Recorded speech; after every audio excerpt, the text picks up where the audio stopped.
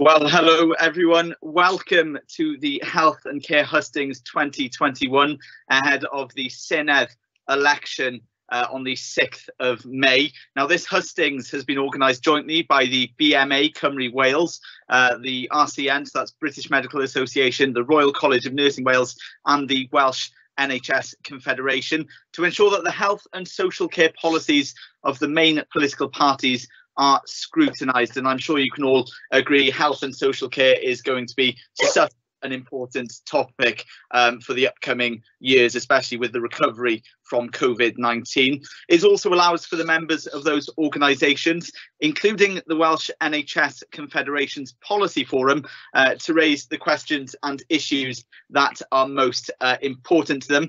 Um, and it's not just here that you can listen uh, to the views. We also encourage debate on uh, on Twitter. It's healthy to debate these kinds of policies, um, but we just ask you to use the hashtag Senedd 2021 on uh, on on Twitter. That's hashtag Senedd 2021, and there is a Welsh uh, translation service available, um, and this can be accessed by telephoning 0300 088 5830. That's 0300 088 5830 uh, and by using the Zoom meeting ID 882 1303 1710 and that passcode is 599847.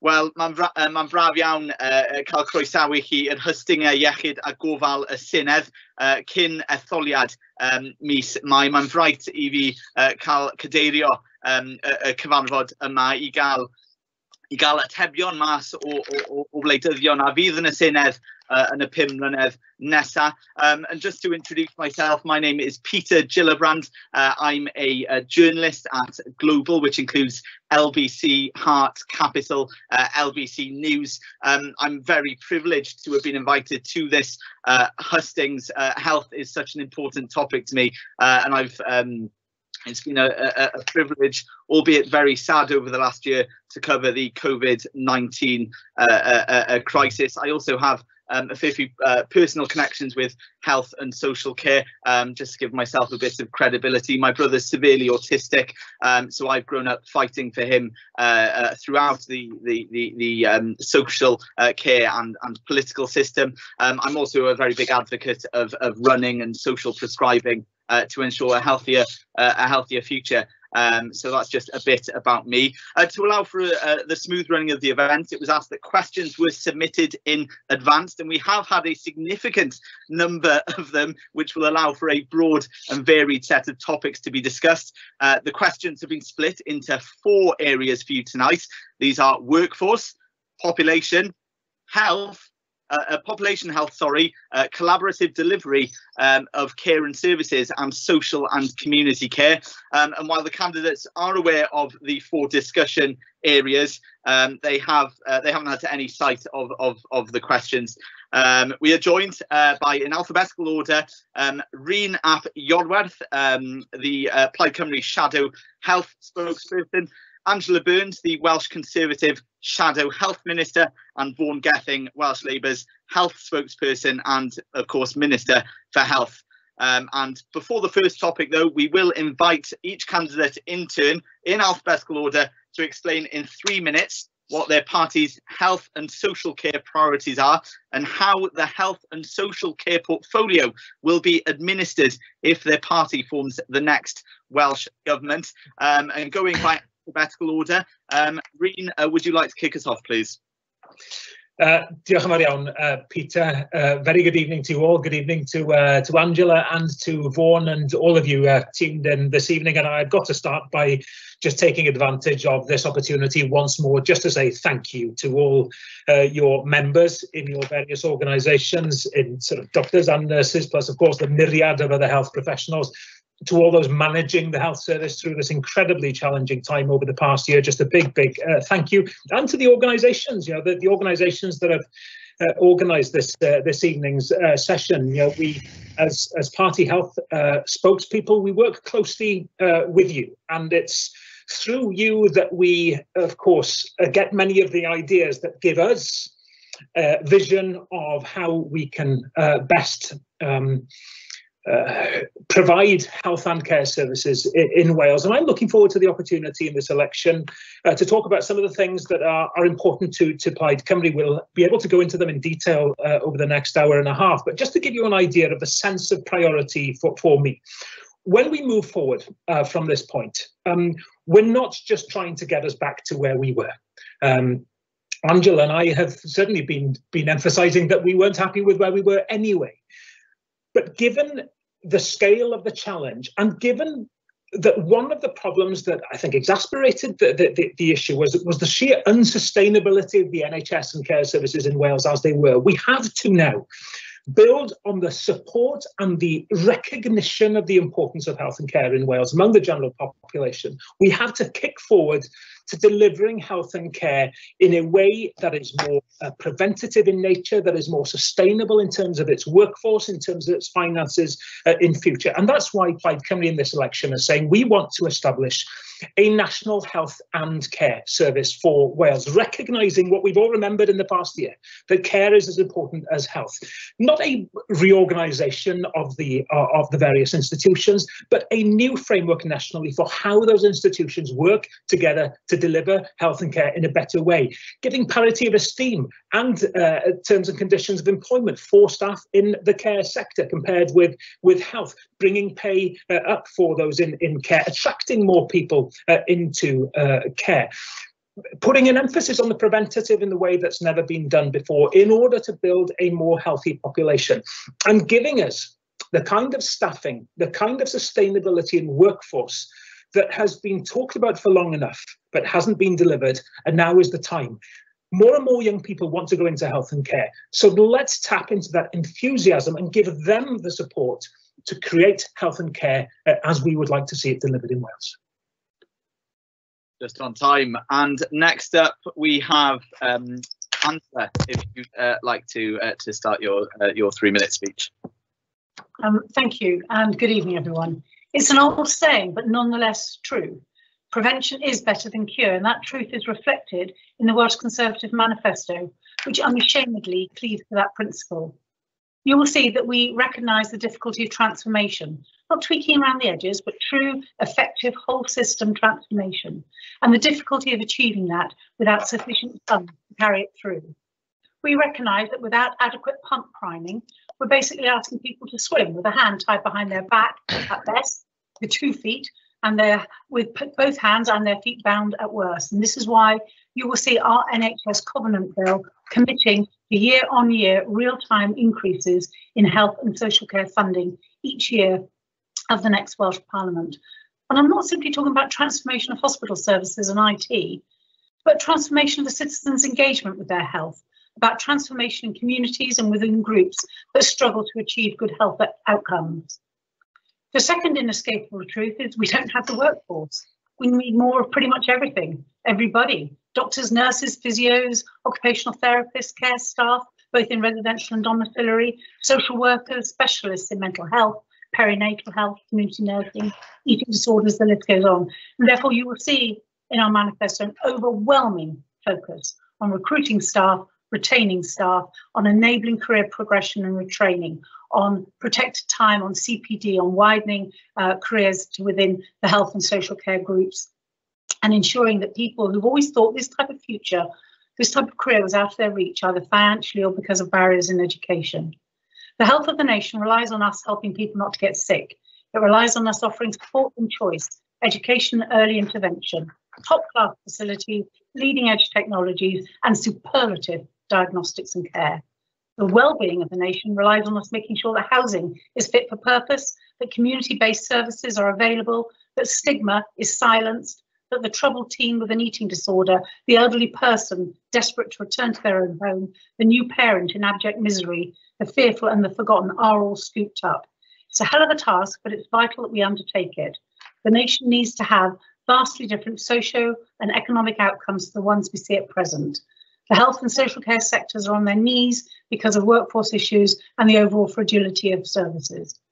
Health boards are trying to engineer substantial changes with little in the pot. And we're all looking to primary and community services to pull the rabbit out of the hat to support a population with all their health, well-being and social care needs. And this is before we even begin to deal with the fallout from COVID. I'm not going to talk about COVID. You know the consequences of the pandemic better than I.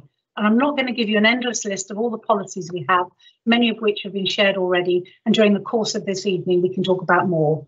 But I want to go back to where I started transformation in people. That innovative, gutsy, can do attitude deployed by so many organisations dealing with the pandemic. We need to maintain that momentum, bottle the lightning, and make the change. Thank you for bringing that to an end there. Um, and next up is uh, Labour's Vaughan Gething. Thank you, Peter, and thank you for all the organisations who have put together uh, this hustings tonight to have uh, what I hope will be a, a, conversation, no doubt, with some sharp edges between the politicians. In terms of our priorities, I want to set out some of the priorities in our manifesto that we've already published, but then some what I think is the absolutely essential context we're going to need to work in. Uh, and the starting point is to complete the pandemic and our response to it, because we're not through the pandemic yet despite the fantastic success of our vaccination program and all of the staff and volunteers who have made that work, we still have more to do. There are more difficult choices in the weeks and months ahead, and our scientific advisors continue to warn us of the possibility of a further wave later this year. And that means following the public health and the scientific evidence and advice, being upfront about what we're doing and all the difficult choices we still have to make. But we will go through the pandemic in this next term. And that's why our headline pledge is about a recovery from the pandemic. That's an economic recovery because actually the health of the nation is absolutely determined by the wealth and the spread of wealth in the nation. It's also about our health and care system recovering and transforming. We've already made 100 million pounds available for the early work on that to start. And that recovery and that transformation for the future is not simply a question of waiting lists in secondary care. It is about primary and community care. It is about mental health and it is about the unfinished journey together between health and social care. And to do that, we are committed to training even more staff. We have a good record over this last term in continuing to invest in our staff, continuing to maximize the number of staff we train across all professions doctors, dentists, nurses, midwives, therapists, scientists. We're committed to recruiting 12,000 more people from training and, of course, the new medical school in North Wales. And that goes alongside our commitment to the real living wage for care workers and the way that we need to reform the way that the social care system works of itself, but as well as the integration that is still required with our health system. And we think that our pledge for a chief social care officer with a seat at the heart of government will help to do that, to raise permanently the awareness and uh, I think the professional respect for our social care workforce. Well, that will have to go alongside not just integrating in organisational terms, but in practical terms about how reform has taken place. And our experience with transformation funding has shown us that money can help, but it's mostly about people and leadership. And much of that comes from the ground in terms of the best ideas to change and permanently improve healthcare. But it does mean some structural changes. That's why we have to carry on with a process that won't feature on many leaflets. But contract reform is so important for reforming where access and primary care works together. Add to that the challenge of the pandemic, a decade of austerity, the challenge of recovery, increased need for the opportunity to reform and deliver a generally sustainable health and care system. And that is the prize we have before us. Thank you very much um, for those opening statements. Um, so we'll first go uh, now uh, to the first subject area, and I've got the questions here. Just a reminder to all candidates, there are a lot of them, and we're going to try and cover as many as we can. Um, so um, just try and keep it as uh, as short as possible, because I'm sure everyone watching will, uh, will, at home will want to um, to hear what you have to say. Um, so yeah, workforce is the first topic area, and before each section, we've got um, a few videos to play. So the first ones are from the Welsh NHS Confederation and the Royal College of Physicians.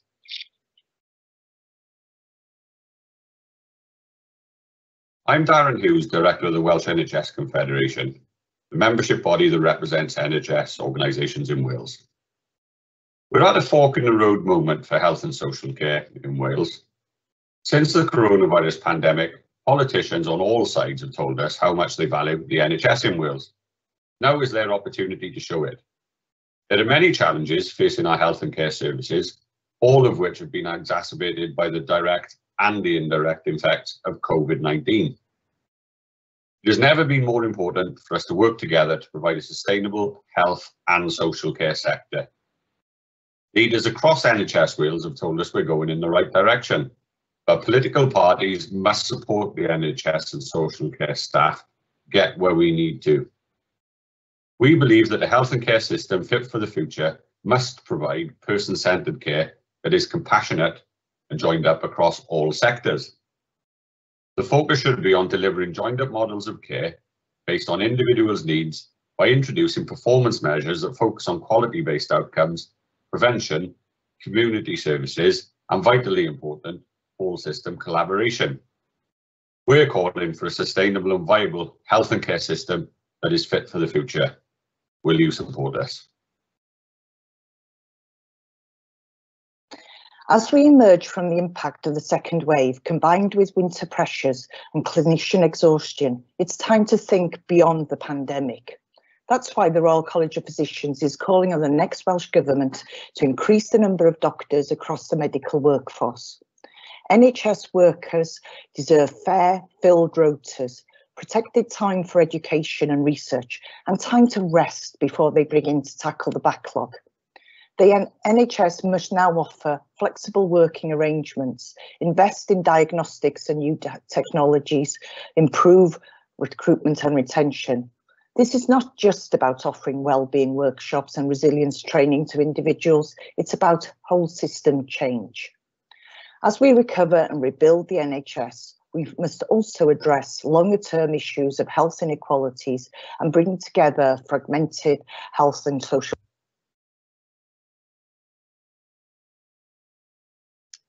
Uh, I don't know what exactly happened there. There seems to be a technical issue. Um, we'll try and get that um, played uh, uh, again uh, in full um, for you. I'm in talks with the the technical guys um, on the on the other end of that. Um, but let's start with questions. We are a bit um, later than planned as we started later, but the um, all these questions have been submitted by uh, by members, and the first topic is workforce. Um, so let's get into it. Um, first question, and I want Vaughan to answer this first. Last month, the UK government recommended to the pay review body that healthcare in England, covered by the Agenda for Change, should receive a 1% pay rise. How would your party ensure all healthcare staff in Wales receive the fair and meaningful pay rise? And what do you consider to be fair? Okay, well, I think that the announcement that England made, the Conservative government in England, was a real kick in the teeth for staff in the NHS, because that is the start of imposing another round of austerity. And I think that, you know, staff really did not feel valued when that announcement was made, not just in England, but it leaked into Wales as well, because that's a statement of value apart from anything else. I've been very clear, not just in the payments that were made to social care twice and the NHS now recently as well, uh, for the extraordinary work been done during the pandemic, but I've been really clear that the pay review body don't have an artificial cap on their recommendations. And we have been clear with uh, workforce representatives, including trade unions, that we want to meet the recommendations of that pay review body and we'll talk with them once the recommendations are made. That's part of the challenge, setting up what is a fair pay award, because that's why you have this pay review body process. So I want to see what that comes to us and I'm committed to wanting to implement that pay review body process. I've already acted there, of course, before the election took place, not just with the bonus, but also in making sure that the NHS remains a real living wage employer. So we're putting our money where our mouth is on this, and that's the right thing to do because otherwise you can get into an auction with other parties rather than having the respect that the process of delivering a fair and sustainable pay award means. But it does also mean that if the UK Exchequer is going to squeeze money out of public service and the health service, that has real consequences for the choices the whole Welsh Government can make and not just in the health field. Uh, um, what what what um, do you consider to be fair in terms of a percentage? Sorry, just to get that clear. Well, I'm not setting a percentage because that's why we have a pay review body process. Wouldn't, wouldn't, wouldn't the members who are watching right now just want to know what you think is fair before heading into the office? Again? I think that well, why have a pay review body process if I'm going to sit here and determine a, a figure out of the air ahead of the election? I think people would be deeply suspicious of that. And I can tell you, Peter, I've had several conversations with healthcare trade unions wanting to know that their pay review body process is going to be respected. They'll have a process that isn't down to the whim of a politician before an election or in the middle of it. And it's why the challenge about getting through the decade of austerity has been so important. The pay rise that was given for Agenda for Change staff was the start, not the end of the process. And medics who are involved in today's call will know that I have met all of the pay review body recommendations for doctors and dentists. We've done the right thing. We've got a track record of doing the right thing, and that's what you'll get with Welsh Labour. Uh, Rhun, um, you're next. What what do you think of what uh, Vaughan said there, and what what what what do you consider to be fair? Well, the one percent was derisory. It was an insult. It would have been an insult at any time. But coming at the end of the year that we've just had, it was uh, uh, uh, the deepest insult possible, a pay cut. Uh, and let's call austerity what it is it's cuts, uh, and it is another cut. And asking health staff to take to, to bear the impact and bear the brunt of that cut after this year of, of COVID uh, says a lot, I, I fear, uh, about uh, the government that, that made that, that suggestion. Um, yes, we do need to um, uh, uh, go through the proper system uh, and look at what recommendations are made by the pay review body. And, and I, I, I, agree with Vaughan that, that it's not up to, to a politician at this point in the political cycle to, to throw figures around. You know, I, I have no doubt that um, we should see the undoing of the effect of the um, 10 years of, of cuts which would which is why nurses for example have been asking for 15% now we know that you know giving a 15% pay rise in one go is extremely difficult for, for any government anywhere but that's the kind of place that we need to be looking to get back to. Let's see what comes out of the pay uh, review uh, body uh, and absolutely make sure um, that staff working in the health um, service are rewarded properly as much as I welcome any additional bonuses in, in COVID, it's not bonuses that health and care workers want. It's sustainable, uh, good uh, pay. That's what we need to put in place for, for the long term. And I remind you again, this is about making sure that care workers also uh, are able to say that they are being paid properly as well, which is why we say minimum uh, £10 an hour in, in, this election, because we have to look holistically at health and care, and of course, putting health and, uh, and care workers on the same terms and conditions too. So you're not committing to a uh, to a specific percentage. I think it's very difficult, and I'm not sure um, those tuning in uh, to this this evening would expect a, a, number. What we have to have is a situation where we know that pay is fair, and the suggestion of a one percent pay increase at any time, as I say, but especially at the end of that year, was deeply, deeply insulting. Mm. Angela, what do you make of it uh, all? Obviously, the Conservatives in the UK government with the 1% pay rise. What do you think of that and what do you think is fair? Okay. Um, so to get to the last question first, which is the important one, am I going to recommend a percentage increase? And the answer is no. What we have clearly said in public is that we will implement in full the findings of the independent pay review. We've also said in public that we would have a minimum £10 an hour um, as a starting uh, wage for those in the care sector. But I've also started discussing with uh, some of the professional bodies the whole uh, process behind Agenda for Change. And I'm very proud that Agenda for Change has actually brought people up out of um, you know beyond below minimum wage practically and got them onto really good salaries and it's transformed the pay packets of you know all of our band one to four what it hasn't done is it hasn't put more money in the pockets of bands five and above, not significant sums of money. And what I think we need to do now is say that Agenda for Change worked its purpose, but now we need to look at the particular um, staffing areas, the particular professional sectors, and see what we need to do to recalibrate their pay bands. And finally, Peter, if I may say, that one of the greatest iniquities is that people who are doing the same job within Wales in different health boards, and whether they're doing it as a full-time job or an overtime job,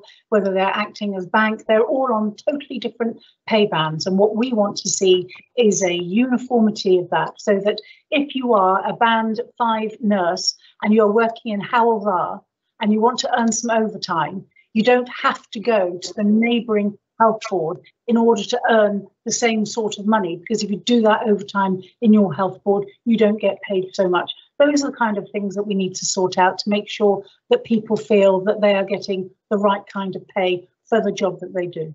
I, I know you said about the agenda for change there, but do you believe it should be more than 1% in Wales?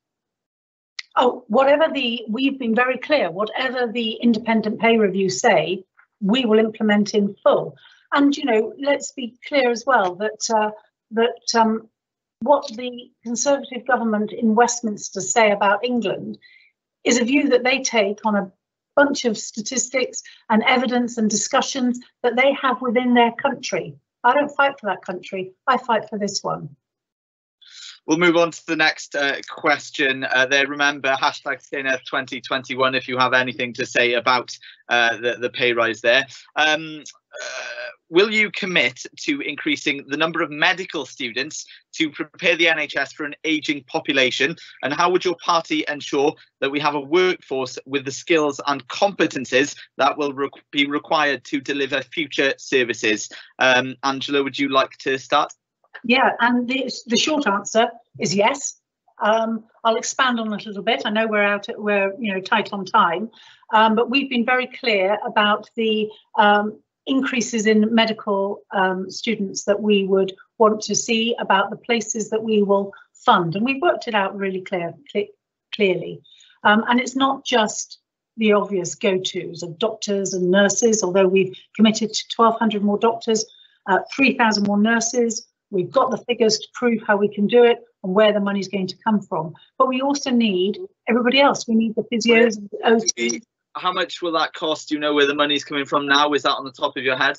Yeah, so if we look at um, the way we are going to get 3,000 extra nurses, for example, you know, let's be clear, you can't just magic them out of nowhere. So if you're expecting them on day two of a Conservative administration, Peter, they won't be there. But what we want to do is put in place the strategies to get that because it's very easy for all of us actually to sit here, me included, and say, oh, we're going to get 3,000 nurses, but we don't have a plan for it. Well, we do. So let me give you one example. Um, about 17 million pounds will enable us to put in place a nursing apprenticeship system. That will allow us to um, encourage people from all walks of life who perhaps didn't necessarily think that becoming a going into the nursing profession was you know something that they could follow.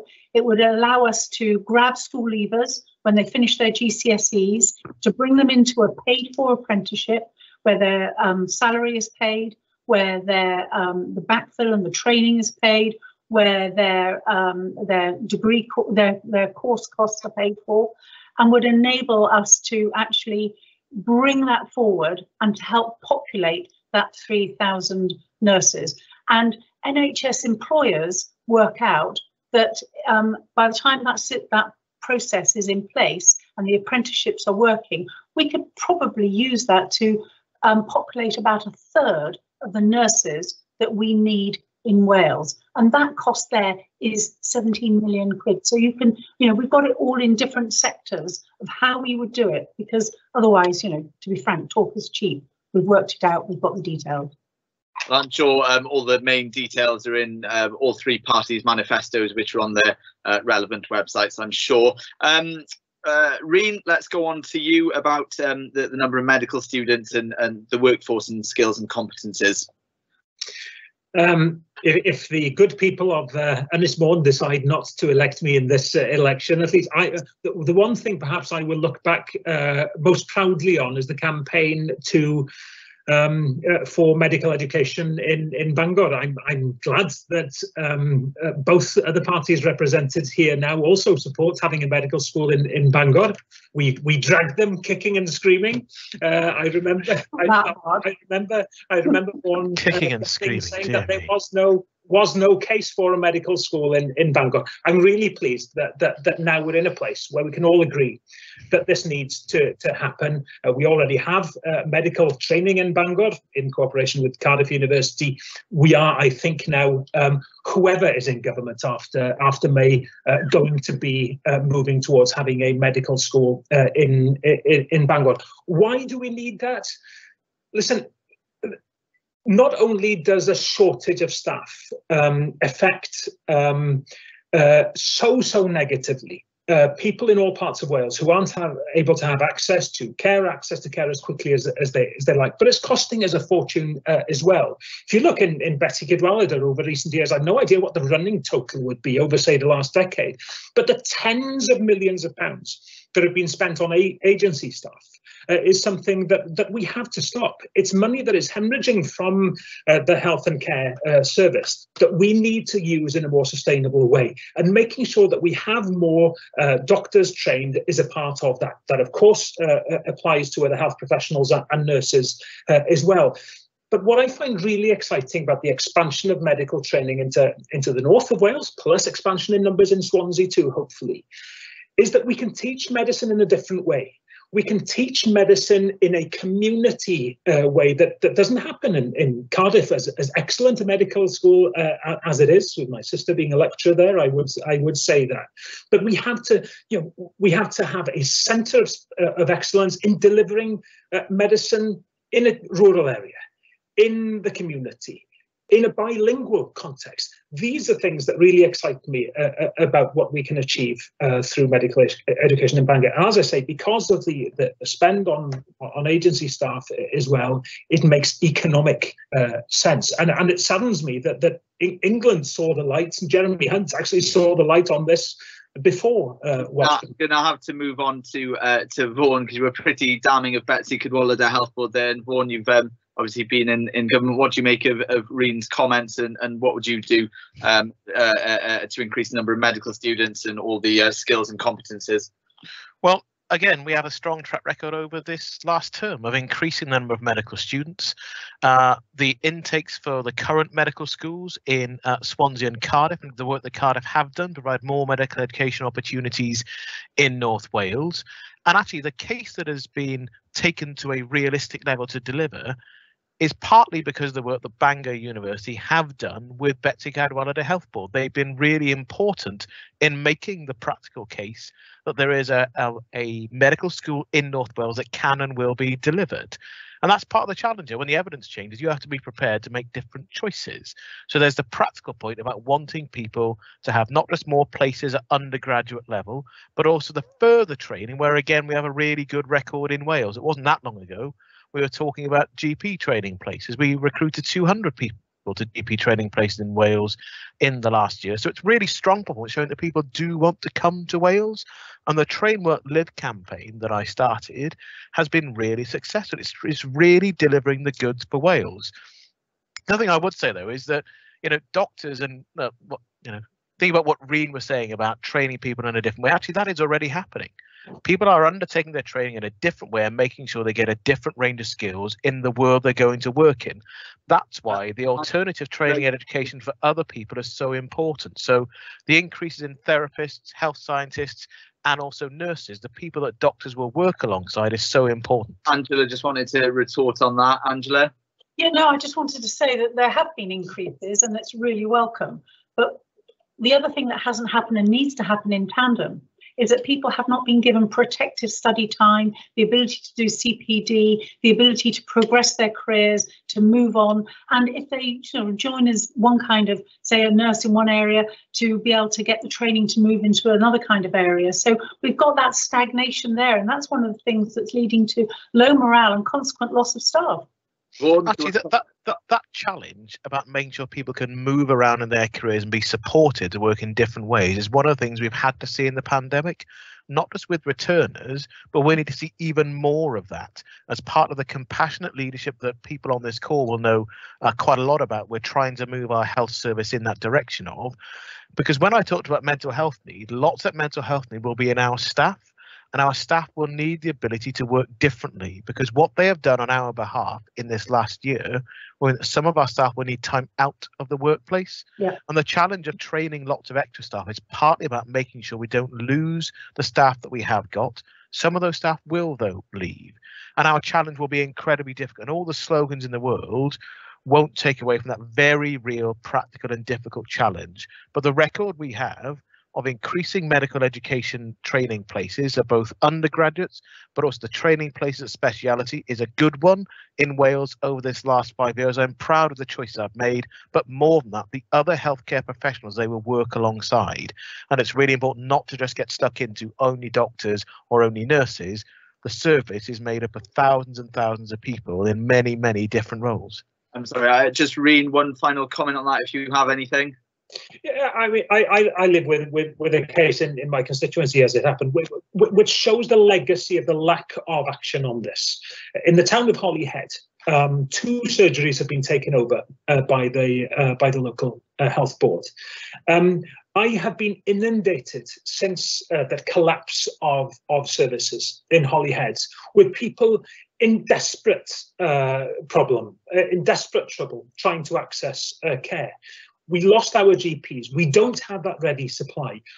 If that isn't a wake up call on uh, and no, you know, increasing the number of medical training places doesn't solve that problem tomorrow. But my goodness me, it gives us a better chance uh, for the medium and the long term. And we have to see action right now to show that government is serious, and that's what a Plaid government, Plaid Cymru government would be. Serious. We are already doing that, Rhun. We have done that successively over these last few years, and and the Train Work Live campaign that we started several years ago is actually really delivering the goods. And it's not just the government; actually, it's lots of our staff who are promoting Wales as a place to go and work. We do really well at the BMJ Careers Fair because of the fact that you've got junior doctors and other people people in Wales promoting the opportunities to come train, work, and live here. So it's absolutely part of what we need to part of what we need to do. And actually, the challenge on having training places available that is also underway with HRW too. So people in this call will know those things are already happening. I'm, I'm, I'm uh, obviously uh, very uh, a disagreement there um, so I, am sure everyone has their opinions. Remember hashtag Senedd uh, 2021. And just a reminder that there are um, translation services uh, available. That's in the email sent to you after uh, registration. Um, yeah, if you check your emails, it's all in there. Um, but that service, the Welsh translation, um, wasanaeth uh, i bobl sy'n siarad Cymraeg sydd i e-bost sydd i hala um, uh, and gynharach. Um, moving on now, um, we, we, we've overrun a bit on that topic, but it's two, those were two very important questions, um, as you heard by the debate there. Um, we're into population health, um, a very uh, a punk, uh, pwnc pwysig, as they say in Welsh, a very important um, topic. And first, uh, we've got videos by the British Lung Foundations and uh, the Samaritans. Here at Asthma UK and British Lung Foundation Wales, we're calling for the next Welsh Government to make lung health a priority. Over the last six years in the current Welsh Respiratory Health Delivery Plan, a great deal was achieved in terms of increasing take-up of pulmonary rehab, better diagnosis and more training for healthcare professionals. But the pandemic swept that all away. More people than before understand the power and the risk of respiratory viruses, but all the services that were in place to, to support people have been greatly reduced. This can't go on. We need to restart respiratory services. We've been told that it'll take up to five years to, to get the NHS back on normal footing, and people with chronic lung conditions can't wait that long. We need an ambitious new respiratory health delivery plan to take us forward for the next five years of the Senedd. We need to have a right to rehab for all people living with lung conditions. We need to have better diagnostic hubs, and we need to tackle smoking cessation once and for all.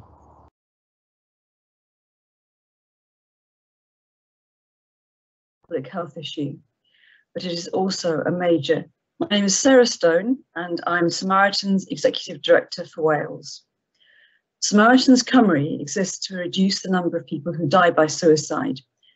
It's very important to remember that suicide is not inevitable. There are actions that we can take to reduce it. One of the things we can do is to mitigate the impact of economic shocks on those who are most vulnerable. Suicide is a major public health issue but it is also a major inequality issue. there is now overwhelming evidence of a strong connection between socioeconomic disadvantage and suicidal behaviour. Admissions to hospital following self-harm are also two times higher in the most deprived communities compared to the most affluent. Suicide risk increases during periods of economic recession, particularly when recessions are associated with a steep rise in unemployment. And this risk remains high when crises end, especially for individuals whose economic circumstances do not improve. We know that growing up or living in poverty can have significant consequences for individuals and communities, affecting health, education, social mobility, child development, and life expectancy. We believe that a centralised strategy for poverty, which promotes cross-government and cross-sectoral involvement, is imperative for such a major public health issue. We need a strategy which mitigates the impact of poverty on individuals and communities and sits alongside economic strategies. We must increase the understanding of the link between emotional well-being and community. Investing in these areas can go a long way to reducing human, social and economic costs. Very moving uh, piece that final one and just a reminder um, because they spoke about um, uh, suicide there um, there are helplines available like the call helpline on 0800 132 737 um, and there's many resources online as well. Um, but next up, we've got population uh, health. The first question, let's get into it. Um, developing the relationship between all public services and citizens must be a priority for the next Welsh Government. This is from the uh, person who's asking the question. How would your party support the public to live healthier lives, take more responsibility for their health and well-being, manage their conditions and use services responsibly? Uh, Vaughan, um, uh, kick us off with that, please. Uh, well, this is part of what we've been starting to do about uh, Healthy Weight, Healthy Wales, but it's not just uh, a health service challenge because lots of this are about the choices we make in how we live our lives, from the food we eat, how much we drink, exercise, smoking, they're all choices around us. And we know from the pandemic in particular that uh, that challenge is not evenly faced in every single community. You know, our least well off communities have the greatest public health challenges. And this is actually really, really difficult. And I, don't, and I don't think you can try to say that it isn't, because the challenge of persuading people to make different choices, of wanting to take more responsibility for those choices, can come across as a very preachy, directive, uh, and frankly unpleasant finger wagging approach that won't change uh, the great majority of people's behaviour. And it's about getting alongside people to understand what matters to them, not just in their health and well-being, but the things they actually want to achieve. So that's why the campaign that we've been that we were running and we were about to spend more money on and actually do more uh, together with citizens. It was interrupted by the pandemic is so important because you've got to have figures that people will listen to. They can be the work that's done in schools on healthy schools. I think has been uh, really impressive in so many ways, but the upward pressure from children and young people also has to be managed and met by also conversations that adults are having as well. So I think it's going to be a huge challenge, regardless of the election result. You're going to see if we're in, Welsh Labour will carry on with the Healthy Weight, Healthy Wales approach. We've got lots of buy-in from different stakeholders, and it really is about all forms of public service, but also employers as well. There's a big role here for employers making workplaces healthy workplaces, physical health and mental health and a whole range of other. We could be here all day talking about this because the economy matters, active travel matters. Uh, what happens in the environment around? So the plans we have in the environment make a huge difference as well. There's lots in this space that is all going to need to work in the right direction. And the moment we have won't last forever to to persuade people to change the way they live and not go back to the way that we used to live. And the pandemic, I'm afraid, will give us a bigger public health challenge to work with rather than actually uh, levelling up the healthcare inequalities we're used to seeing. So an active recovery there is the best way forward. And just a quick fun fact, Cardiff is apparently the most active city in the UK, um, according to one study. So that's uh, reassuring. Uh, Angela, going on to yourself now.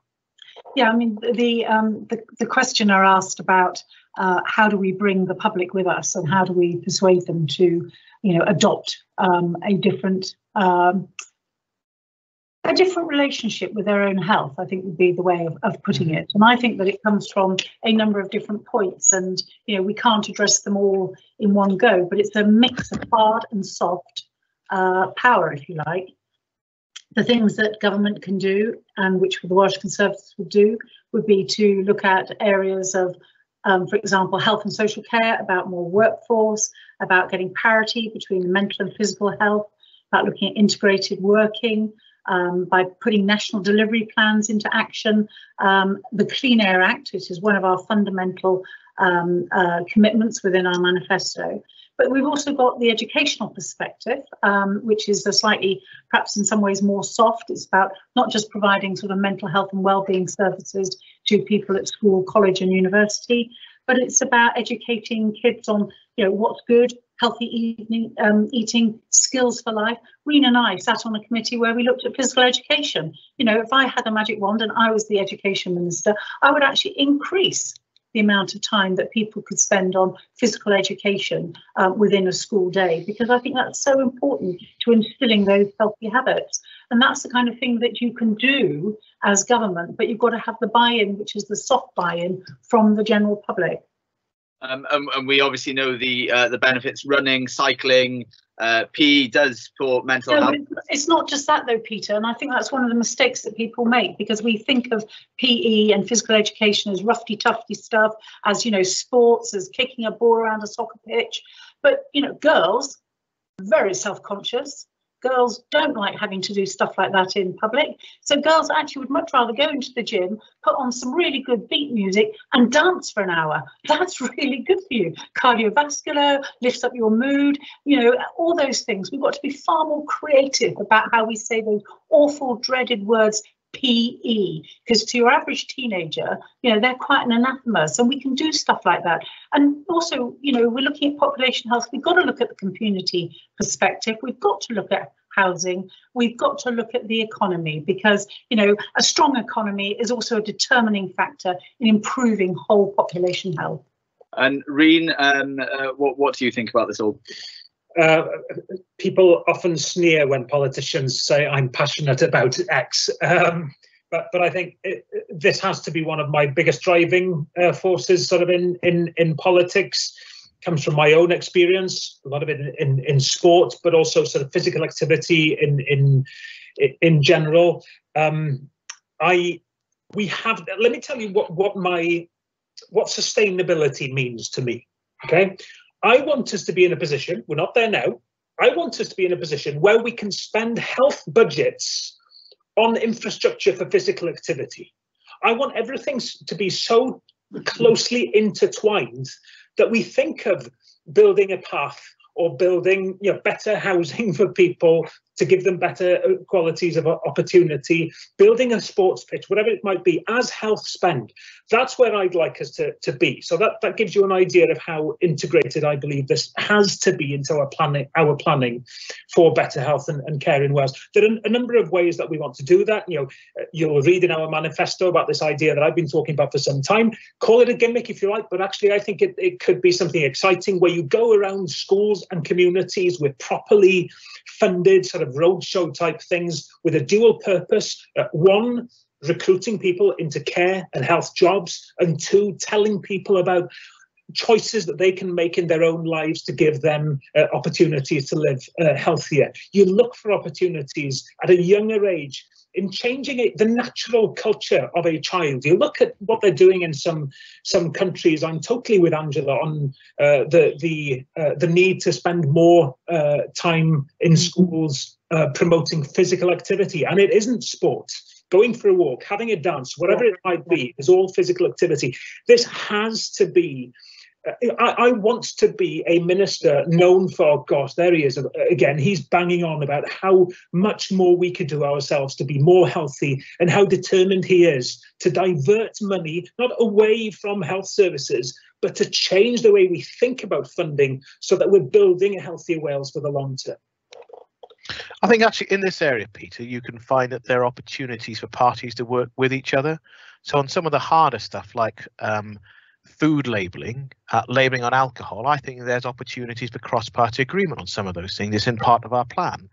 Uh, there are also opportunities, for example, the way we worked on minimum unit alcohol pricing. Uh, so those hard things can get agreement across parties and even on active travel.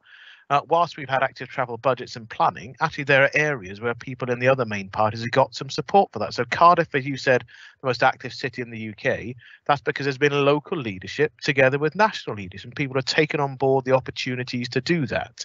And it's easier in some parts of the country, but the challenge is how we normalize that physical activity is a part of everyday life. You don't have to think about, I will now go out and do some activity, but to make it normal for me to be active in the way we actually live day to day do do so I guess the, the question to everyone, obviously anyone could get into power um, come May the 6th or, or just after, is the whoever gets into power is a cross-party group on this and and, and cross-party work on this vital. Uh, Rhun, you put the hand up first. Yeah, I, I, I, agree that, and we do work together, of course. You know, the, the work that we do in committees, for example, is is cross-party, and you know, the committees come up with with very very good ideas, and we want governments of whichever colour to, to implement those ideas.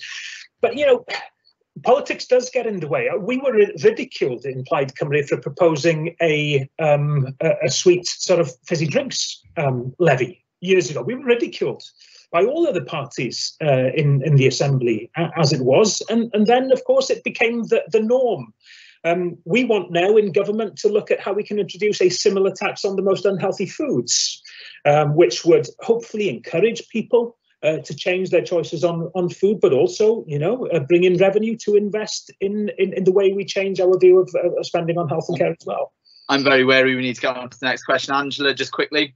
Yeah, I'm really worried about the fact that we're just talking um, as population health being physical because it isn't. It's about the other side of it. It's about it's about the mental health. It's about you know the lady whose house I went to in Pembroke Dock where she had bubble wrap um, you know, over her windows to stop the draft coming through.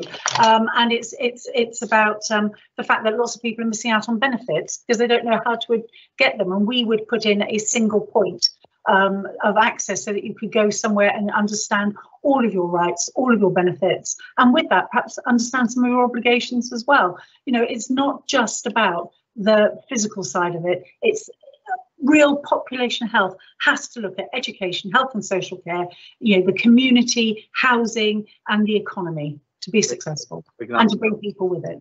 We're going to have to move on. Um, data on life expectancy, this is the next question, shows increasing inequalities in recent years. So health inequalities, major uh, flashpoint, especially if we've seen the statistics in, um, for example, up in the up in the valleys um, where there are uh, significant health inequalities. Um, how does your party therefore plan to invest in the NHS in order to recognise its importance as an anchor institution and its link between unemployment, the economy, and population health. The question um, has also come, uh, they're particularly interested in children and young people, adverse childhood experiences, and learning disabilities. Um, let's start with uh, start with Rhun.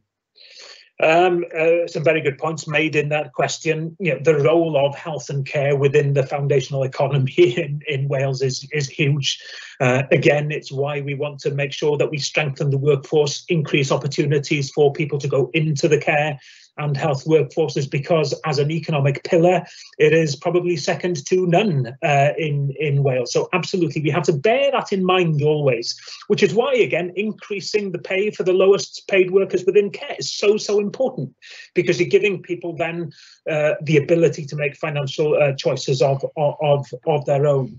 Um, so yeah, absolutely, we need to do that. But but let me uh, again remind uh, ourselves that when we think of, of spending decisions to be made by the next uh, Welsh government, we can't just think in terms of uh, the health budget because we have to, if we are serious about tackling equality, think of the budgets for housing. Think of the budgets for uh, making uh, tackling fuel poverty. Think of um, budgets for giving uh, free school meals for all uh, pupils from families on universal credit, because we cannot allow children to suffer from poverty on that level. We have to think holistically. Uh, I could go on, but I, am sensing that because time is short, I'd be grateful if I wind it up there.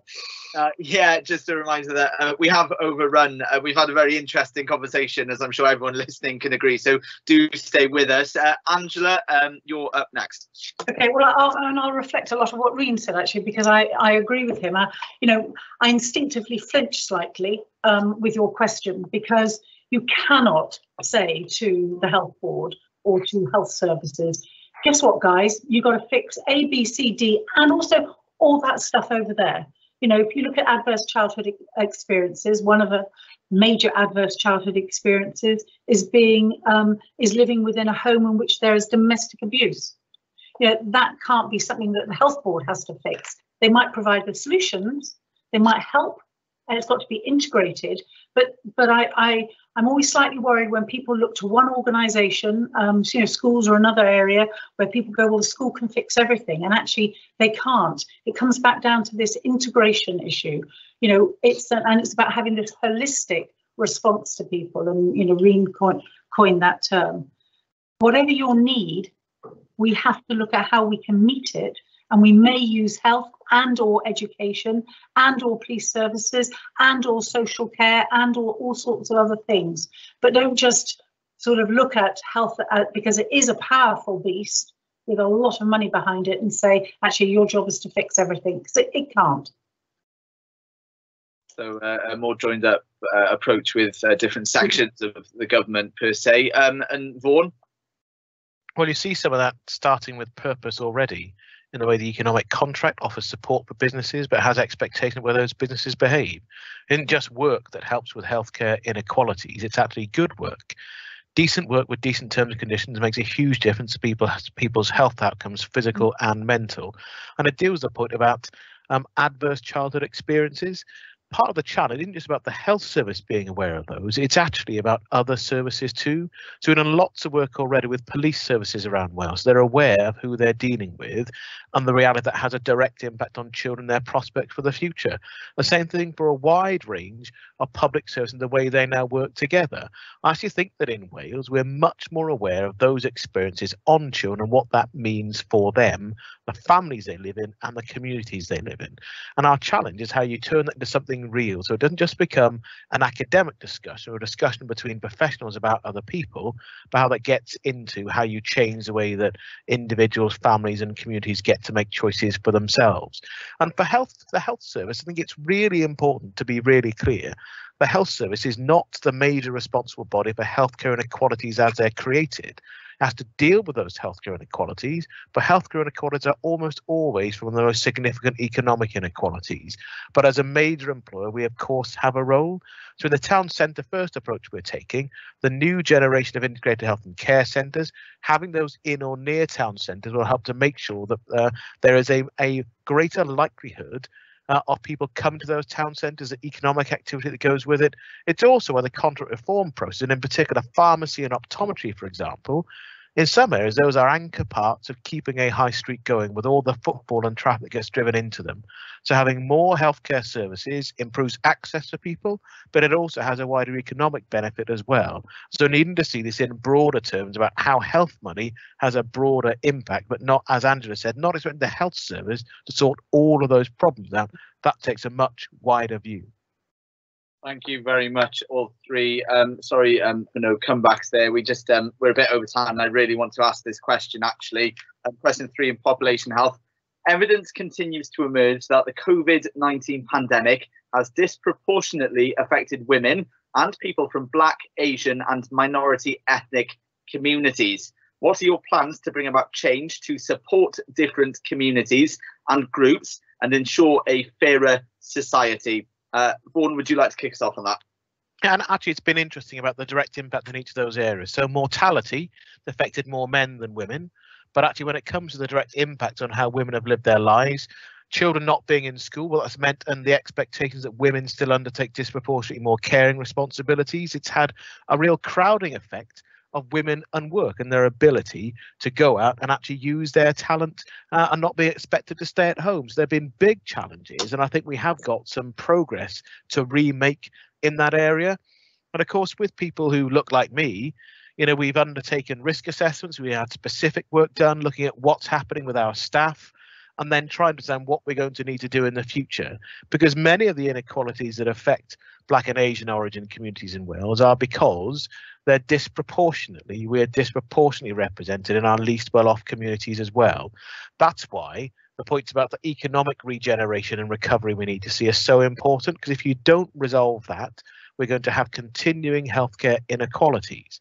You know, we've been more successful than other parts of the UK in not having the same mortality impact of the pandemic, but it's an absolutely consistent pattern where you have your least well off communities, you will have your highest impact.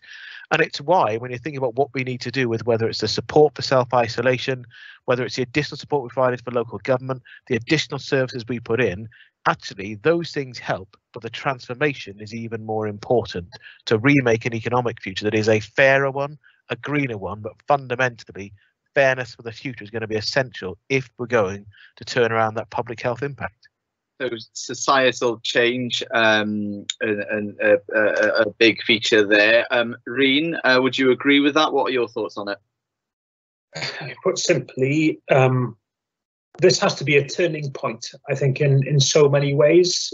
Um, the statistics that that that you mentioned, there are others too, and I think what COVID, and what this pandemic has done, is to highlight um, deep inequalities that we that we already had in our um, communities, and it's not going to be uh, me devising, you know, the ways um, to address that. But what we need is a government that is absolutely determined to do all the work that is necessary now to identify the ways in which we can uh, tackle those inequalities. We, we know what some of them are, of course, you know, and, and, and poverty ha has been one of the um, the biggest measures of how likely somebody is to be affected adversely by by COVID. It's a it's a stark reminder of what inequalities uh, in our communities uh, does. If you belong to a particular group, you are more likely to have, have suffered. So we need that research, and we need a government that will act uh, on, on, on what we find. And it could even, you know. Um, stretch to long COVID as well, which is something that I've uh, you know particular interest in. You know, we're we're, we're going to be learning, and we, we need to be investing right now uh, in making sure that where there are groups that are particularly uh, badly affected with that too, that they get the help that they want. Uh, Rhun uh, picks up a very big point there. I think the ONS uh, said that around roughly estimate 56,000 people mm-hmm. suffering from long COVID at the moment, and I'm sure um, the the the, the um, people from long COVID Wales who I think are listening will be glad that you've brought that up, and I'm sure it's a priority for all three candidates here. Uh, Angela, um, what uh, what do you think about the question?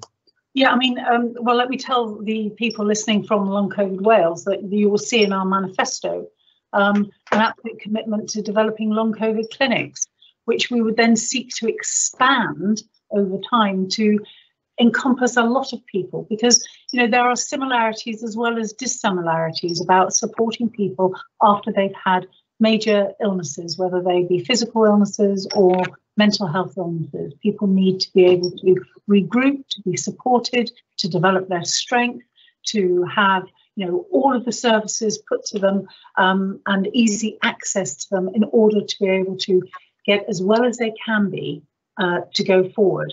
And I think that's a really vital part of what we need to provide. You know, it's got to be more than the mandatory sort of or statutory, you know, six weeks of physio or whatever it may be. It's got to be what that individual person wants. And then just moving on to the, the question quickly, because we are, um, I am aware of the time. And, and, and it is and it is a turning point. Um, you know, I absolutely agree with Rhun, and I, and I, know Vaughan does because we we talked about these kind of things between ourselves. Um, it is a turning point. This is our opportunity to actually reframe the whole of the way we deliver population health. You know, and you can't just say because of COVID we're going to specifically, you know, go into um, ethnic minority communities perhaps and try to because it's everybody. Is anybody who's poor is anybody who's out of the um, the ambit of uh, what we consider to be the mainstream. They're all people who've been marginalized or left behind for whatever reason it may be and there are multitudes of reasons as to why that's happened. If we truly want to transform our population health, it comes back to health and social care, education, you know, the community involvement, all of the processes we have in communities like flying starts, um, are looking at our housing needs and, and I agree 100% with Vaughan about having a strong economy because that's one of the major things that can shift your population and to help to improve outcomes for everybody. Thank you very much. Uh, root cause is definitely um, something that the next government will be looking at by the sounds of it. Um, uh, we'll move on to the next section. Uh, sorry again to the audience, we are running uh, a bit over, but we've had such um, interesting chats about these policy areas. Um, so it's, it's great to hear uh, all three parties. Next is collaborative delivery of care and services. Um, we've got two more videos, um, one from the uh, BMA Cymru Wales, British Medical Association, and the uh, Association of the British Pharmaceutical Industry.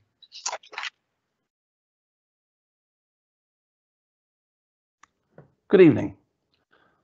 The last 12 months have completely changed everything, but in many ways, the problems of the NHS were already there around our staffing levels, around the size of our hospitals, and around our waiting lists. All of those, for one reason or another, have got much worse in the last 12 to 15 months.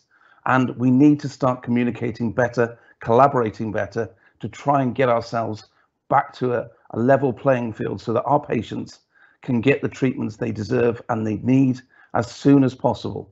The right investment can lead to better communication uh, using some of the new technologies that have been developed over the last 12 months and using those to actually improve our patient care going forward. By listening to staff and patients about their experience, there's an opportunity to implement some of the new technologies around electronic prescribing, around clear information sharing between all parts of the NHS, uh, to try and improve the services that we provide for our patients in collaboration with all of our colleagues in the NHS and in social care. Thanks. My name is Rick Greville, and I'm Director of the Association of the British Pharmaceutical Industry, ABPI Cymru Wales. As we've all seen over the last year, medicines and vaccines are transforming our lives like never before. At ABPI, we are proud that our members have developed and delivered vaccines and treatments to address the pandemic, whilst continuing to supply cutting-edge therapies. Creating an NHS fit for the future is about embracing new technologies, ensuring patients in Wales have access to world-class standards of care and disease prevention. We know that working collaboratively the next Welsh Government can deliver this because since 2016, the groundbreaking New Treatment Fund has strengthened and accelerated access to the newest treatments. Continuation of this progressive £80 million fund will enable routine adoption of all medicines found to be clinically and cost effective wherever you are in Wales. We look forward to continuing our work with colleagues across health and social care, as we know only too well, we are always stronger together.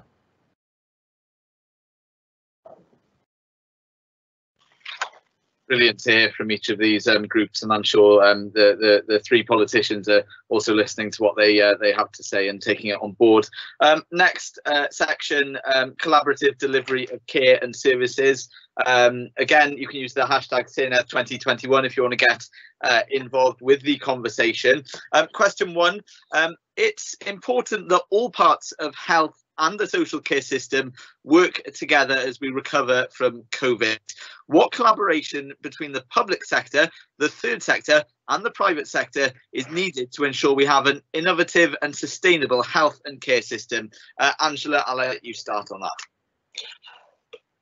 I actually think that one of the um, the positives, probably about the only positive I think that uh, we had out of the pandemic, has been seeing collaboration work at an extraordinary level and extraordinary pace between um, local authorities, health and the health board. I mean, they've you know, they, they, they've pulled uh, they pulled the rabbit out of the bag. And as I said in my opening statement, it's about capturing that energy and that can do and that that ability to move through the inertia, capturing it. Let's bottle that lightning and let's keep it going forward. That's one of the things that we absolutely need to take. You know, let's not go back to the stuffy ways of working where we went up and down our silos before we went across.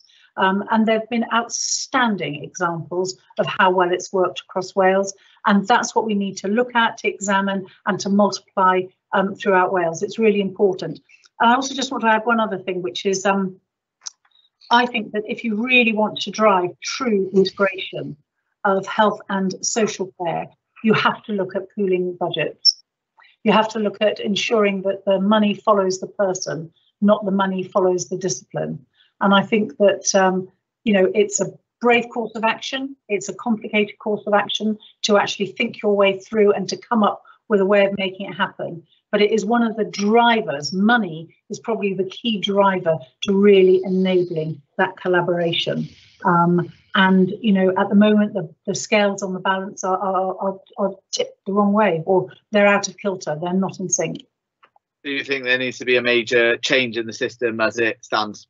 Yeah, and don't get me wrong, I'm not talking about frontline system. You know, I'm not saying right, we're all going to change that, but how we manage it at the back end, how we empower the people in the health departments, in the social care departments, in local authorities, whatever departments you can add in, all the public services. And you know, it was it was part of the um, the sort of ambition of the Future Generations Act was to try and make some of that happen.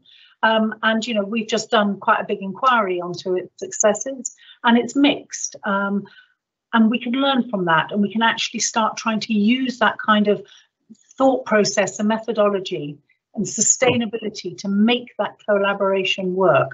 But let's be under no illusions. One of the key drivers of absolutely anything is money. He who holds the purse strings has the power. And we need to really have a look at how we can pool money to drive some of that change, drive some of that collaboration. But I do want to pay a real tribute, uh, Peter, before, you know, I know we're out of time, but I do want to pay a real tribute because I do think that all of these public uh, departments have been phenomenal in the last year. Um, you know, while still staying safe, while still having appropriate governance, they basically ripped up the rule book and said, right, we're going to work fast, quick to respond to this crisis let's keep that mentality and drive it through. And you spoke there about he who holds the purse strings. Next up to Vaughan, who maybe not runs the uh, the, the, purse strings, but has um, uh, the policy, I suppose. Vaughan. Well, it's a, a, really interesting set of questions about how we can do this. We have examples of this already. Um, so the new treatment fund is a good example of a government choice that's required greater collaboration and working between the private sector but also with a health service to deliver it. And actually, it's opening up new opportunities for further work as well.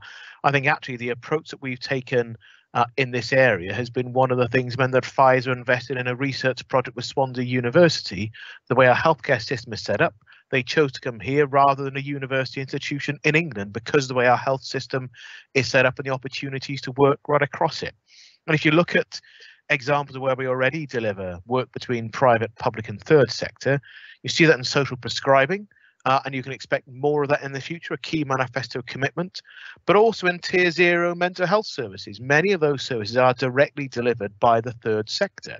So actually some of that collaboration way that partnership works, I think will improve more in the future. And the pandemic has absolutely driven a further transformation and acceleration in those relationships.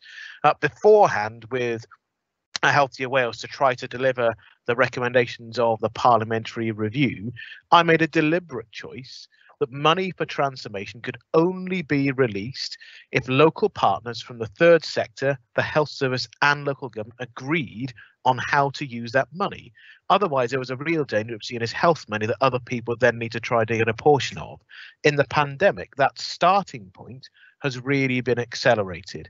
And after, to be honest, in the first few months of the pandemic, it wasn't necessarily all easy. You now see health and local government working much more effectively together. And the challenge is to make sure the third sector aren't frozen out. And I'm confident we'll see more of that genuine work together in the next in the next Senedd term. Uh, Angela, just quickly before Rhun. Well, I, I, I, just want to say, I, I, you know, I agree with a, um, a lot of the analysis there that um, Vaughan's put forward, but I do, I do also want to quickly add in, and I'm sure Rhun might want to build on it more, is the pandemic's also shown us a difference in collaboration with the citizen over their health, over their, you know, if you like, their their, their destiny, um, and that's changed. There's definitely been a tipping point in how people view health and social care and their um, their responses to it. And we need to try to build on that and move that forward, and uh, because that's been transformational in so many areas. Um, and uh, Rhun. Yeah, and people want us to do it. Now is the time uh, mm-hmm. to be to be doing radical things. Going back, um, how long? Two two years probably. Um, Plaid Cymru set up our care commission, and um, one of our uh, key um, recommendations was to establish a national health and care service. Now, to me, what we've lived through over the past a year just shows me how much that is needed uh, now. That is our declaration of intent, if you like. It's not the trigger for a major structural change. We, we don't need to replace our health boards or our local authorities. I have my thoughts about Betsi Cadwaladr, which we may or may not have, have time to talk about. But we need a different way of ensuring that the collaboration actually happens formally between care and health and to get rid of the arbitrary sort of dividing lines between them that we're currently seeing. There are very good examples of collaboration, including in my neck, my neck of the woods, where the council and the health board do absolutely work um, well together. The transformation fund, uh, Angela uh, and I remember sitting through an inquiry by the health uh, by the health committee in, in, in the Senedd, where, as far as I could see, nobody really knew what the transformation fund was for. And if you talk to ten different people about how they wanted to use it, they, the ten of them had different ideas. And, and the budget was was ultimately too small too. We need the core of health and care spending to be delivered through new frameworks to me, the National Health and Care Service is about delivering national frameworks, not just for health, not just for care, but the way that they formally work together to make sure that money follows the person's needs and there's no, as I say, arbitrary lines between what's social care and what's, what's healthcare. There are good uh, international uh, examples. Sweden gives us a very uh, good one. My Swedish isn't very good, but the Norrtälje uh, model where they you know, brought together uh, social and health uh, care spending. So we need to be innovative on this in Wales and now is the time to do it. I think um, I think skål means cheers in in in Swedish. Um, that's all that I know. But uh, Vaughan, do you quickly want to come back to anything said there? Yeah, look, and in, in some of this area, we've seen a real acceleration in progress. It's practical. And I always said the Transformation Fund would be about having different approaches in different parts of Wales to transform services, but it has to be time limited to, to then make sure that you're doing something with your core budgets and your core relationships. So much of this, there isn't a large area of disagreement. The challenge is actually getting there. And when we had the parliamentary there was agreement on the broader point and it always then comes down to the practical choices and the change you need to see happen. We've got to equip our staff and support them working across different organizations to actually get on and deliver and the pandemic has shown it can happen I am um, sorry, Angela. I really do need to move on. Uh, you've all had ample opportunity to speak there. Um, uh, we're uh, just uh, we need to keep this quite uh, sharpish. Um, advances in innovation during the pandemic have assisted many patients in rural communities to access healthcare. How will you ensure that those who experience digital or geographical exclusion can access the assistance they need in the future? Um, let's start with uh, Rhun on that one. Uh, because time is short, I'll give you one idea that I would really like to see um, developed and delivered, which is the, the introduction of a new role, which would be a, if I don't know what you call it, a digital medical nursing community assistant. I don't know. Basically, we've seen that you that that uh, uh, consultations from a distance uh, using digital technology can work, but it's not going to work for everybody. It works for me but it's not going to work for uh, for some people who have mobility, uh, uh, uh, digital inclusion issues and so on. How about taking part of the health uh, sector into somebody's house so that you're taking the technology, you're taking the digital link, you are uh, introducing a conduit to a, a conversation with a doctor or an advanced nurse practitioner, whoever it might be, back in back at base, uh, and, and sort of building on the fact that we have a new appetite for trying different things, and that we recognise that the things that work well for some, and I'm guessing the four of us on the screen here won't work for others. So just an idea, but kicking on from where we are now, you know, making the, the some of the developments standard, you know, not going back to doing things as we were, and actually identifying what we could do differently through ideas such as that one uh, to reach the, into people's homes that don't have the technology there already. Angela, you're in a um, rural constituency. Your views on this? Yeah, I think it's IT is not a panacea for everything. Um, I think that we've made some extraordinary um, strides forward, um, and um, and I think that the use of digital technologies to be able to uh, talk to people, to be able to do, you know, offer diagnoses, to be able to deliver medicines, um, organise things, you know, is is absolutely fantastic. But it doesn't work for everybody, and it also um, doesn't do a, a, number of other really important things, which is all about tying people in together. Um, it's about making sure that um, that the the elderly, the the poorer people, the people who don't have, you know, IT uh, uh um, availability in my constituency, you know, and broadband in some areas. Um, you know, it really, really clear. We've got to make sure we don't lose them. And so what we need to do is ensure that we carry on preventing and putting money into community services and ensuring that people do not then have to travel for 30, 40, 50 miles to go and see somebody, but they can go to a community uh, outpost near them to get that digital, you know, access to digital uh, consultations and all the rest of it.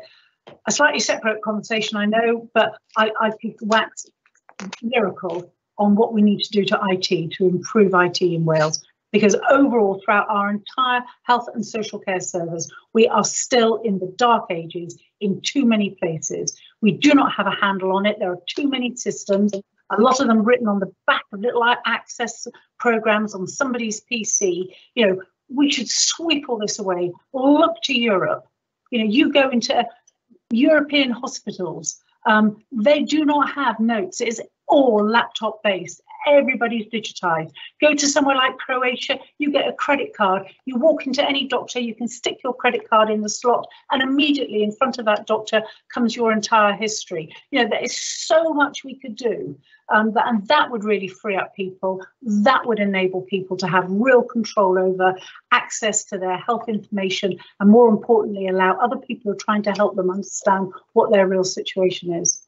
Vaughan, is it uh, Europe that we should be looking at for the next five years? Well, we'll always be able to learn what's happening in Europe, things that we want to emulate and do more of, as well as things that we don't want to do as well. And it's important we have a genuine, open-ended approach to our relationships with other modern developed healthcare systems.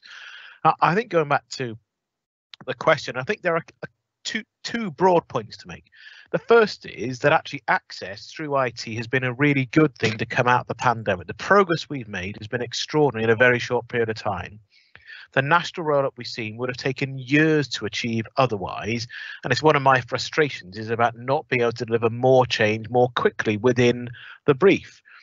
But it won't put to one side the need to have proper relationship based healthcare in primary and secondary care. So it's the balance moving forward. It's not about undoing the change that's happened. And that's actually a benefit to staff. Um, as well as to the patient, the patient as well. So when I go and get my blood test, um, I don't always have to go in after that to have the appointment.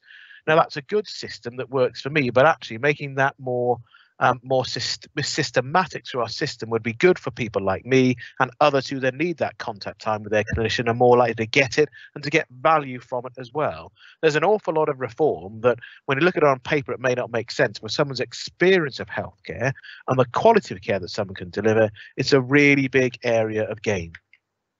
Um, and let's move on uh, uh, quickly to the next section, social and community care. Um, and we've got a video by the Royal College of Nursing Wales.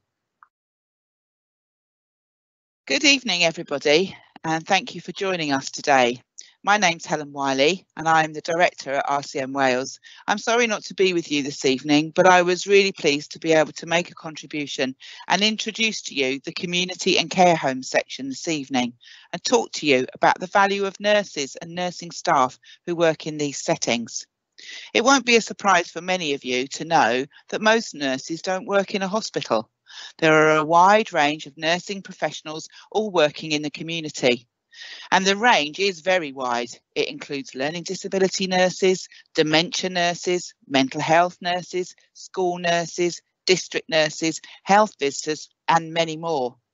Community nurses help people live independently. They help people stay at home and receive care with dignity, but they also provide highly complex clinical care. District nurses are a linchpin of many community teams, but unfortunately their numbers are dwindling. Community nursing needs urgent investment. And in our manifesto, Vote for Nursing, we ask the next Welsh Government to increase the number of district nurses and urgently invest in community information technology systems and handheld devices.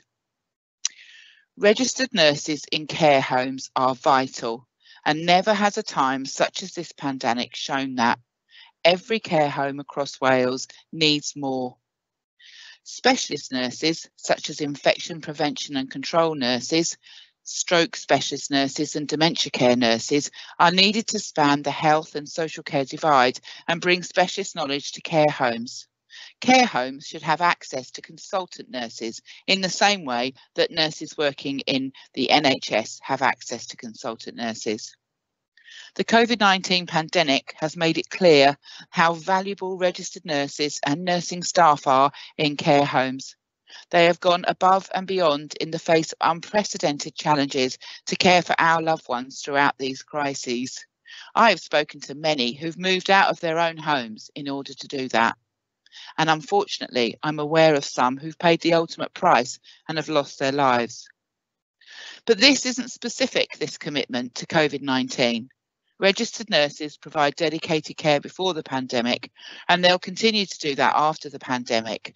Nursing is a people business, and we want to invest in our people. The next Welsh Government needs to raise the profile of registered nursing in care homes, providing professional recognition as well as pay terms and conditions equal to those of their other colleagues. Not only will this show nurses in care homes that they are valued, but it will make it an attractive career option to nursing students or returning nurses, which could lead to a much needed improvement in the numbers of nurses employed within care homes. Our care home animation will explain just how important care home nursing is and why care homes need urgent investment. So thank you for giving me some time today, and I'm sure it will be a lively and interesting meeting. And uh, just quickly there, thank you to, uh, to, to carers who worked throughout the pandemic as well. I've um, uh, my brother's in a care home in Carmarthenshire and they've been fantastic with him when in a time when I couldn't see him. So I just wanted to use this platform to say thank you to uh, to carers. Um, this will be pretty quick fire. Uh, social and community care. Question one: with budgets and working practices varying so much, how would you like health and social care to work closer together? And how will you ensure all aspects are appropriately funded? Um, Vaughan? Uh, well, that's why I think our pledge for the, the the reform of the social care framework, the white paper we produced before uh, the election period, is so important because you've got to have a new framework for that social care is going to work. Uh, because our ability to deliver the real living wage in the care sector will rely on us having a a way to bargain across the sector to make that stick and to have the local ability to be appropriate in the way that care is delivered, but a real national frame to make sure that it is something that people can rely on in every part of the country.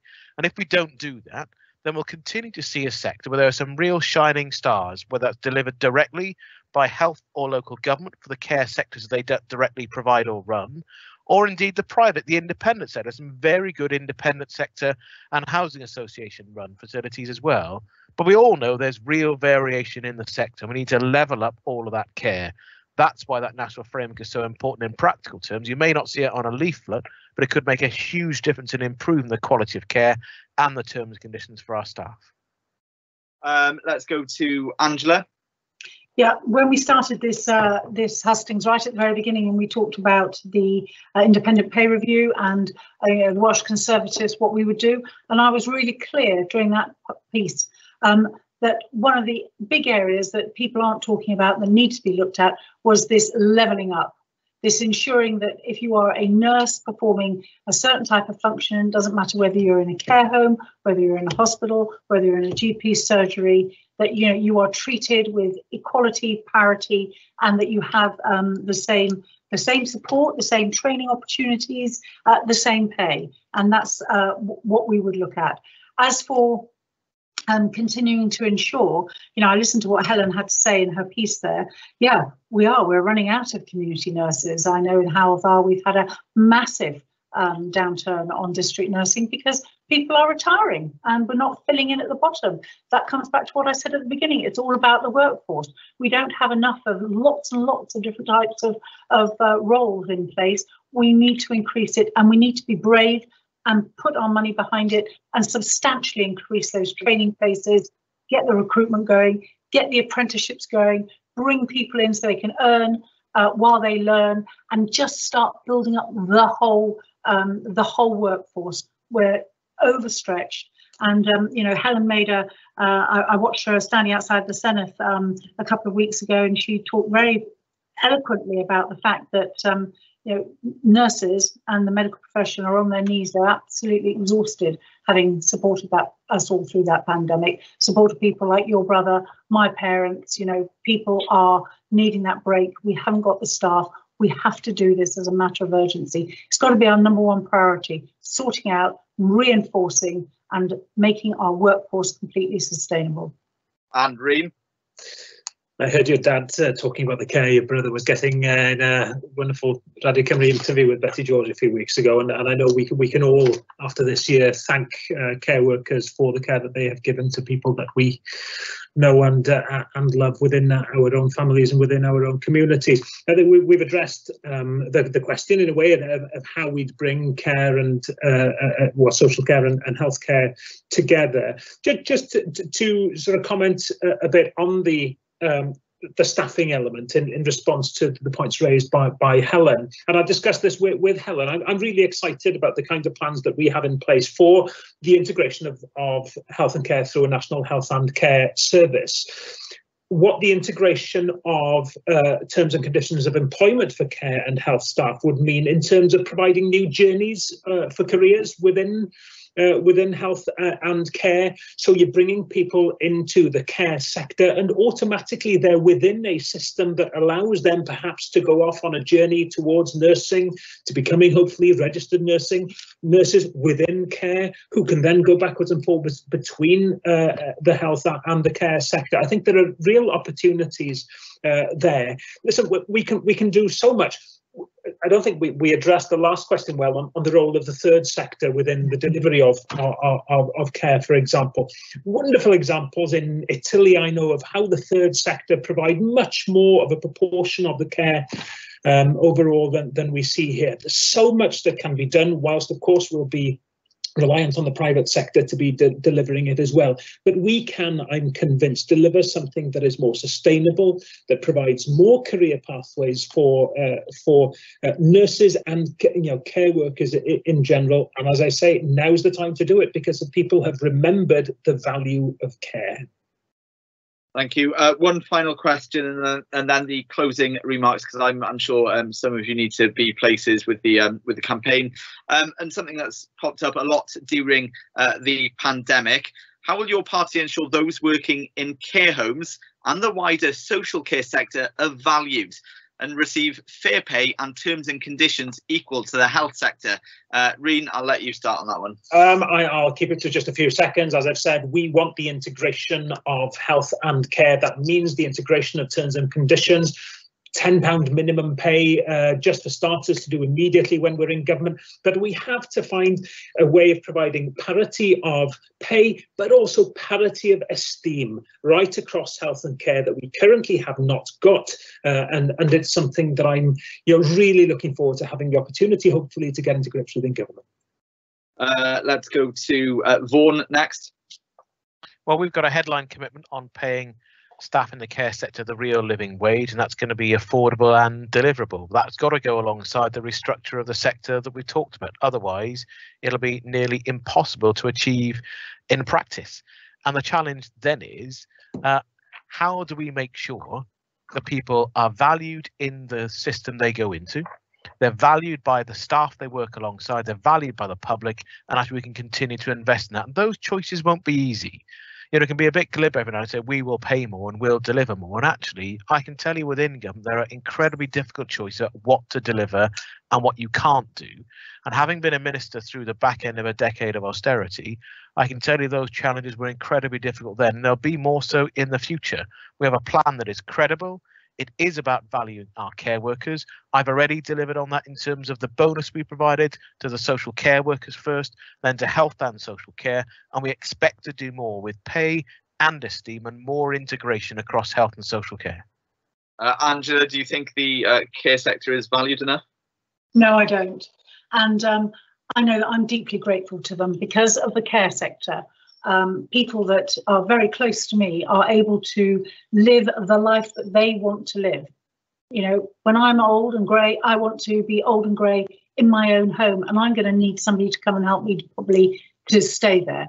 We, you know, the care carers and the care sector enable us, all of us, to actually have the kind of life we want. Without them, we would all have to have completely different choices made for us. We wouldn't have that choice, we wouldn't have that empowerment. That's a great gift. And isn't it extraordinary? Because we see that somebody who tends us in a bed in a hospital is giving us a great gift, but we do not equate it with somebody who tends us in a bed in a care home or somebody who comes into our home and helps get us out of a bed and helps get us downstairs and helps prepare something for us. We don't see that as the same kind of gift. But it is because it's about allowing us to live the kind of life that we need. And we need to get that message out. The way we get that out is by paying people properly and by developing a proper career structure. So if you're 16 or 17 or 18 or 22 and you're thinking, what am I going to do? Do I want to go into care? Oh, that's all just dealing with the difficult stuff. Actually, it's not. It's richly rewarding personally. You form fantastic relationships with people you can really make a difference to the life of another human being. That's a pretty good job to have. And if you're paid well, you've got a career structure, you're able to develop your personal and your professional skills, and you can have a career path if you want. You know, that's what we need to do. That's how we will then get more people to come and work um, in a sector that is vital, absolutely vital to the long term sustainability of us as individual human beings. Because trust me, we're all going to get to a point where we're going to need some kind of support. These are the amazing people who deliver it. Thank you very much. That's um, that signals the end of the questions part of the hustings. Sorry that it ran over a little bit. I was trying to keep to the timings, but they were very uh, important and significant questions to answer ahead of the next five years of of COVID recovery and and the future for for, for a lot of us. Um, next up is three minutes to make closing uh, remarks. Your chance to wow the audience and and maybe even get their vote on the on the sixth of May. Uh, we started the hustings with Rhun and Angela, then Vaughan. So let's go, Vaughan. You first. Three minutes. Uh, well, thank you for the opportunity to to join you tonight, and uh, thank you for everything you've done, not just in the pandemic, um, but through all the time that I've been the deputy and then uh, the cabinet minister for health in the government. Uh, sometimes my colleagues in government ask me why I do the job because it's big, difficult, and demanding. And I regularly say you meet amazing people. You meet amazing patients who've had their lives transformed and changed by what our NHS and social care system does. And you also meet amazing staff who have always gone above and beyond. And you recognize what that commitment means the pandemic has changed so many things. I think it's reinforced people's understanding of how lucky we are to live in a country where we have a national care service, where we have a national health service that will look after you, where we now recognise even more so the importance of our care system. Much of what we talked about today won't feature in headline debates and won't feature in many doorstep conversations, but it will be a huge part of transforming Wales for the future. Our number one pledge is about getting through the pandemic and a recovery post COVID. That will require more change and more reform. And whoever, what, whichever one of us is a minister in a future government, it will still require you to be able to deliver that, to transform the way that health and care works.